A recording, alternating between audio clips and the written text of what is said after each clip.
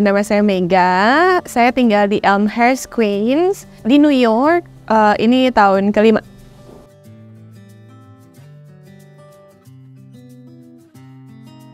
Jadi sesuai di logonya, kita biasanya ada bubble tea, Indonesian coffee, and dessert.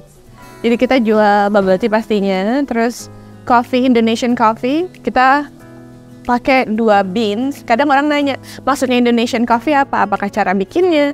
Tapi bukan cuma cara bikin, kita lebih ke beans ya. Kita pakai single origin, kita pakai Toraja, Sumatera, dan Luwak. Tiga itu aja. Gitu. Terus dessertnya kita ada cake uh, makaron pokoknya. Pokoknya yang kira-kira diterima sama uh, lingkungan. Terus kita juga in house bikin crepes.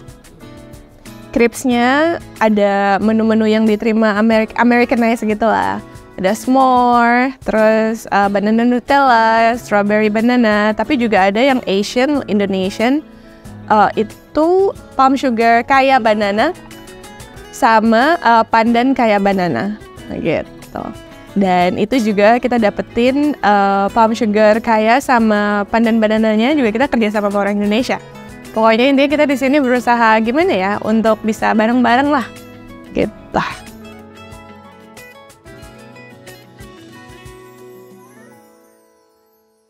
Uh, pertama karena saya pecinta banget manis, peminum boba dari pertama keluar sehari dua kali kalau stres bisa lebih gitu. Jadi intinya saya tahu apa yang saya suka dan apa yang kurang dari yang saya pernah minum gitu. Makanya ketika saya bikin, saya tipikal yang purist sebenarnya. Jadi kalau menu-menu di Boba Well itu biasanya yang basic uh, dasar menu-menu boba ada di sini, tapi kita elevate rasanya pakai apa ya?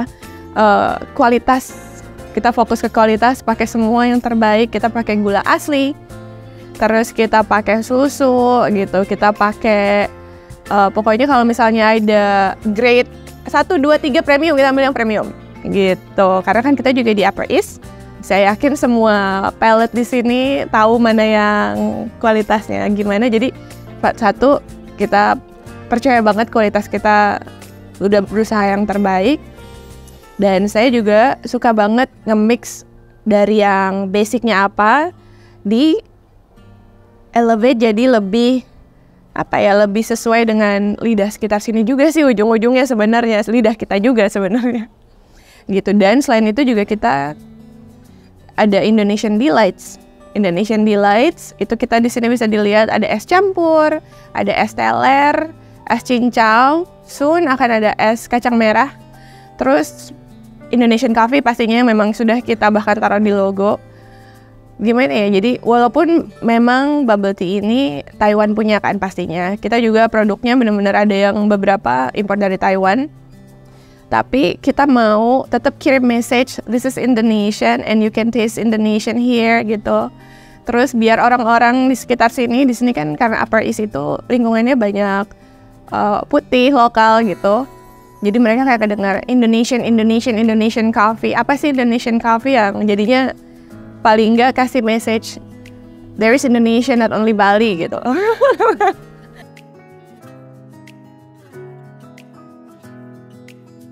Upper East Side Manhattan itu di First Avenue-nya 1138 uh, alamatnya di 1138 antara 62nd and 63rd Street.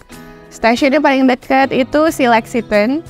Terus kalau teman-teman dari luar New York mau main ke sini, main ke sini karena kenapa di dekat sini ada tram yang langsung ke Roosevelt Island. Jadi benar-benar posisinya sih enak banget deket, agak deket sama kalau mau jalan-jalan ke PBB gitu, agak deket sama jalan-jalan ke Fifth Avenue. Jadi kita kayak di tengah-tengah.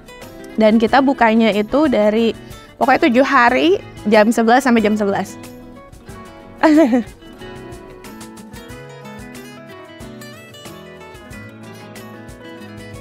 Oke, yang paling pertama biasanya taro. Ini si taro kita, dia ini very light gitu. Karena kita juga bisa gulanya dari 25% sampai 150% jadi orang-orang suka banget. Terus habis itu juga kalau saya pribadi si Indonesian Delights karena pastinya nggak ada di mana-mana. Si es campur yang pink ini kita pakai marjan pastinya kan. Dan campur-campuran lainnya. Ini isinya ada lychee jelly, nangka, kelapa, um, cincau, boba pasti ya karena kita boba well jadi kita pasti masukin boba juga. Uh, satu lagi kalau nggak salah ya apa ya udah kayaknya itu deh. Terus ini es teler favorit saya juga dan ini banyak banget yang pesan bukan cuma orang Indo tapi orang di sekitar sini juga. Mungkin kalau es campur buat mereka lebih ke manis. Tapi kalau es teler lebih light kan. Jadi banyak banget yang beli es teler, isinya pastinya uh, boba, nangka, cincau, lychee jelly, kelapa. Kita masukin juga aja semuanya gitu. Terus juga ini ya cincau baru. Ini lebih light lagi daripada jadi kalau misalnya yang suka manis, termanis, tengah dan ini yang very light. Kita pakai uh, coconut milk, pakai santan. Who knows? Kara mungkin mau. Karena kita benar butuh santan di sini dan kalau pakai kara mungkin akan seru banget. Cuman agak susah kan dapetnya ya. Terus habis itu ini kita pakai santan, pakai cincau kita bikin sendiri in house. Terus pakai brown sugar dan ini yang belum keluar tapi bahkan orang-orang udah pesan karena kita bikin di story gimana cara bikinnya ini kita sebutannya mungkin di benua akan berubah Supreme Toraja jadi kita pakai single beans Indonesian single beans kita bikin ice blended rasanya dari mocha, vanilla sama um, karamel. Ah, pokoknya enak banget ya. Nanti kan akan coba gitu. Jadi buat teman-teman yang kangen minuman Indonesia, terus abis itu mau hangout di tengah-tengah New York, yang dekat ke mana-mana, mampir-mampir ke sini.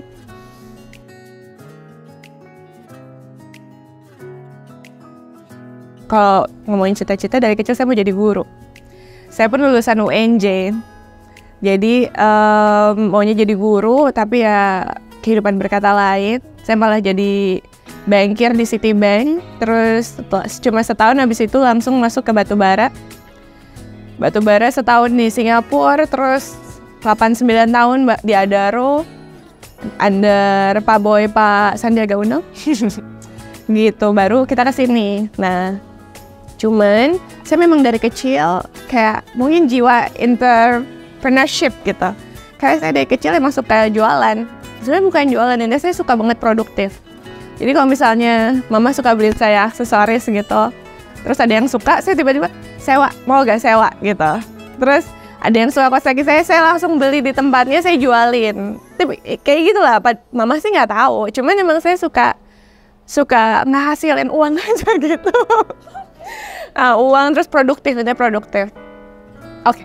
so, pokoknya ini saya suka produktif. Terus misalnya saya bikin kartu-kartu kecil, saya jualin saya bikin apa pun gitu alhamdulillah mungkin emang namanya juga impian jadi guru suka ngomong juga pengaruh juga untuk marketingin produk sendiri gitu jadi dari dulu saya selalu punya uang sendiri dan um, ketika di New York saya kan punya anak gitu kan jadinya nggak bisa kerja dong karena nggak ada yang jagain anak saya. Nah di situlah saya apa pun yang bisa dilakuin apa pun yang bikin saya produktif itu apa gitu.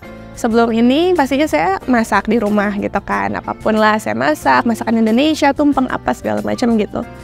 Tapi juga uh, karena saya suka banget bubble tea saya memang sudah pengen buka toko semenjak di New York. Maksudnya ngelihat ke depan terus saya nggak mungkin kerja selama mama saya nggak mau pindah ke sini atau saya ngorbanin um, apa ya anak saya untuk di penitipan apa segala macam gitu cuman intinya saya nggak mau jadi memang oh satu-satunya cara ya self in, self employed gitu. Apa yang bisa dilakuin dan pastinya ke depannya kan kita mau lebih serius. Nggak cuma yang home base atau apa gitu. Dan kebetulan memang uh, bubble tea booming juga di New York. Uh, terus saya suka banget gitu. Jadi ya jadinya kita memang antara, bubble tea atau restoran Indonesia sebenarnya. Cuman karena kita baru first business untuk dapetin gedung di sini nggak segampang teman-teman pikirin lah pokoknya. Jadi dapatnya ini ya kita lakuin apa yang bisa kita lakuin gitu sih. Ininya ada kesempatan kita ambil, ada opportunity kita ambil. Terus um, never stop moving aja sih.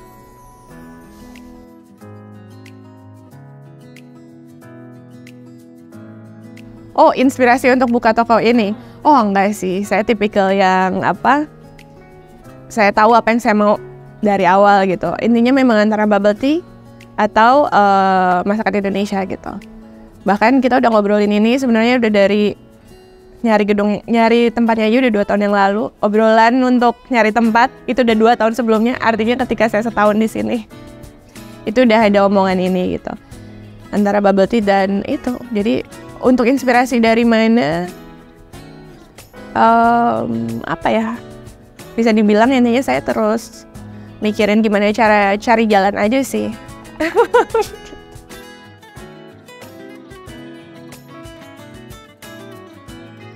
Pas sampai sebelum ke New York nggak pikiran karena kita juga bahkan nggak tahu New York kayak gimana. Tapi ternyata memang um, banyak banget opportunity ya. Nggak bisa dipungkirin. Ketika di New York kamu mau capek mau kerja there's always opportunity for you gitu di sini. Selalu ada kesempatan um, tapi ya balik lagi karena memang jelas banget kan sebenarnya. Kalau mau buka apa aturannya tuh sangat jelas di websitenya masing-masing gitu. Jadi benar-benar bisa kita pelajarin yang mana nggak akan bisa singkat sih. Makanya itu butuh waktu. Gitu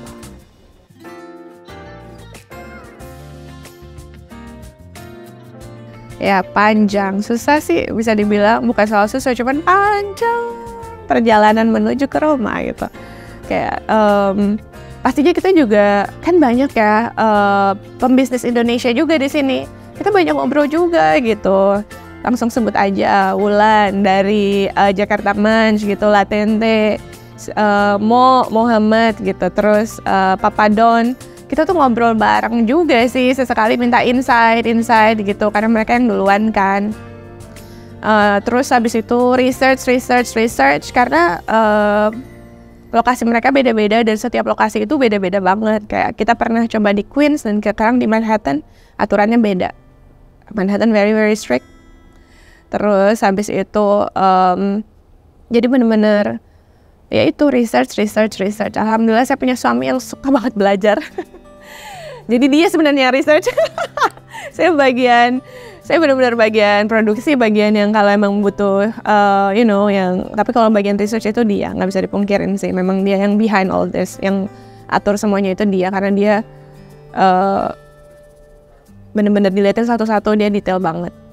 Karena kalau saya tipikal yang uh, ini jalan terus gitu. Kalau dia benar-benar detail, detail baca satu-satu gitu. Itu sih yang penting banget karena aturannya memang banyak banget. Walaupun kita juga dibantu ujung-ujungnya sama lawyer, sama accountant, sama uh, arsitek, sama apa. Karena memang bukannya kita nggak mau sendiri, cuman memang itu aturannya. Dan mereka juga ngebantu.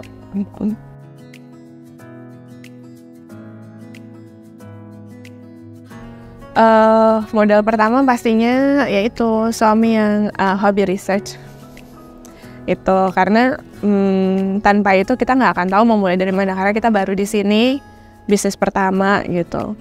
Terus uh, yang kedua pastinya uang juga ya.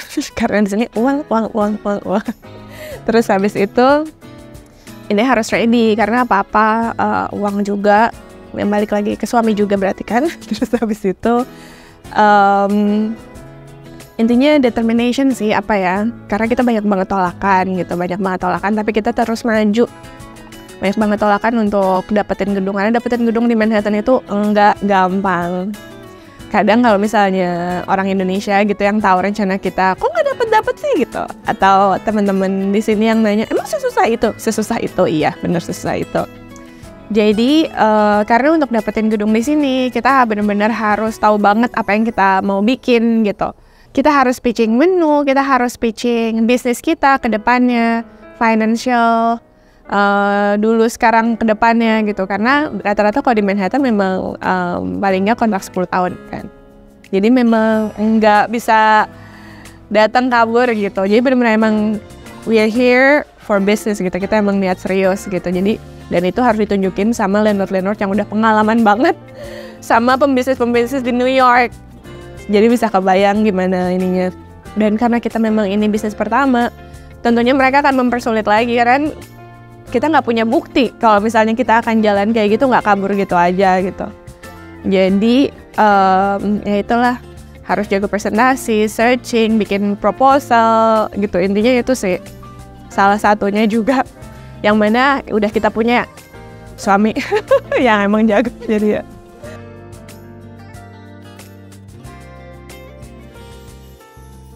tempat. Susah banget dapet tempat. Jangan kan tempat untuk komersial kayak gini. Apartemennya susah nyari di Manhattan. Dan tempat uh, yang emang dapat ini tempat bagus banget. Kalau teman-teman ke ke sini ini tempat bagus banget. Di tempat yang rame di tempat yang hidup um, New York banget gitu. Jadi ini benar-benar apa ya? Ya doa juga semuanya juga sih. Karena kita pernah ditolak sebelumnya dan ternyata dia manggil kita lagi. Mungkin um, dia lihat-lihat proposal atau gimana. Intinya kalau soal bisnis sudah bukan di tangan kita kita cuma bisa usaha semaksimal mungkin. Ujung-ujungnya keputusan pasti dari Allah kan. Gitu. Tempat tempat tempat nih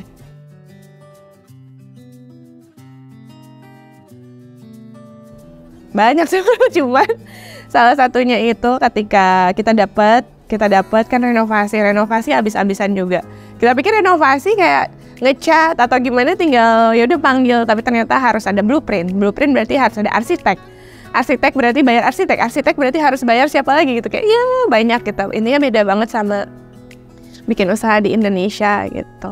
Terus karena memang ini kita uh, benar-benar sendiri modal sendiri gitu ya.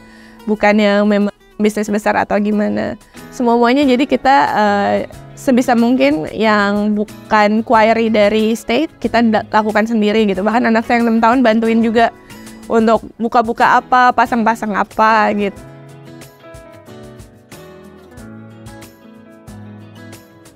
pastinya harus usaha terus jangan pernah nyerah. Tapi juga um, kerjaan yang sekarang dipegang itu jangan ditinggal. Jangan ditinggal jadi benar-benar sampai jadi bahkan pas udah jadi kalau memang masih bisa sambil gitu pokoknya terus kerjaan utama dulu sampai memang karena usaha terutama di New York itu uang kayak keran ya gitu. Jadi benar-benar palingnya kita harus settle sama apa yang kita hari-hari udah ada backup gitu. Tapi terus berusaha berusaha berusaha tolakan itu wajar banget tapi terus terus terus terus. Bertahun-tahun pun terus terus terus aja gitu karena balik lagi ini bukan kalau memang orang uh, diaspora ya pasti ini bukan kayak bukan tanah kita bukan apa jadi tapi bisa gitu benar-benar bisa. Maksudnya yang kayak saya yang cuma kayak kita keluarga kecil ngejalanin ini ngelakuin ini butuh waktu banyak banyak penolakan tapi bisa juga gitu. Jadi pasti ada jalan. Intinya harus ikutin semua aturannya. Harus semua aturan harus tahu dipelajari tapi juga ada salah satu yang benar-benar um, kayak in gray area gitu loh namanya Certificate of Occupancy kalau nggak salah.